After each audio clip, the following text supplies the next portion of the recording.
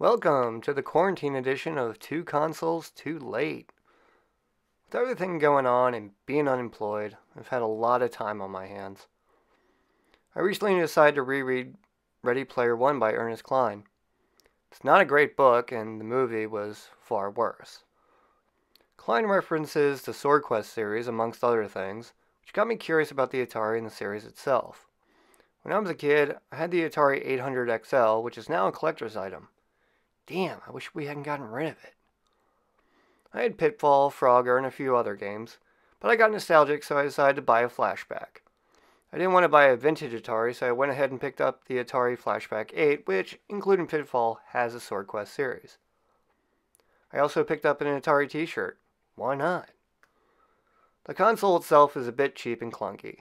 There's no reset button, and the menu graphics aren't great, which uses a crappy AV input. In hindsight, I should have gotten the Flashback 9, but for 18 bucks, I'm not complaining.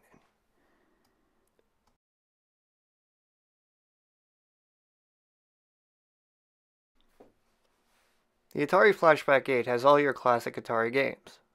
First, we'll start with Adventure, the game that was the impetus behind Ready Player One. Of course, we know about the famous Easter egg, and I have to admit, I never played this game until now. And I probably won't play it again. I might just to find the Easter egg, just to say I did it, but not a great game. Next we have is Yar's Revenge. This game was developed by Howard Scott Warshaw, the same person who developed ET and was scapegoated as the end of the Atari era. I highly recommend the documentary Atari Game Over, which shows the dig for ET cartridges and that Atari was on the path to destruction. One game did not bring down an entire company.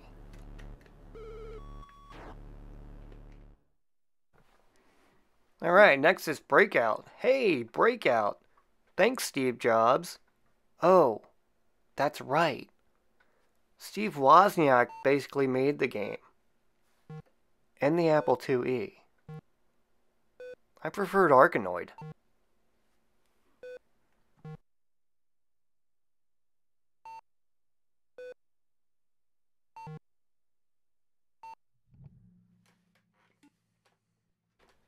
But now we get to Pitfall.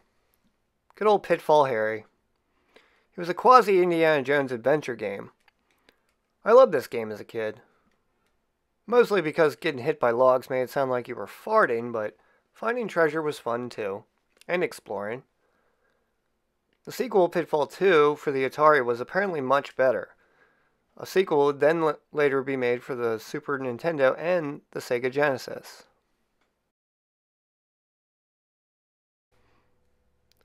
But then finally we get to the Sword Quest series. Originally there was supposed to be four games. Earth World, Fire World, Water World, pre-Costner, and Air World, which was never released after the end of Atari. Here we have Earth World. I like this game because it reminds me a bit of Zelda.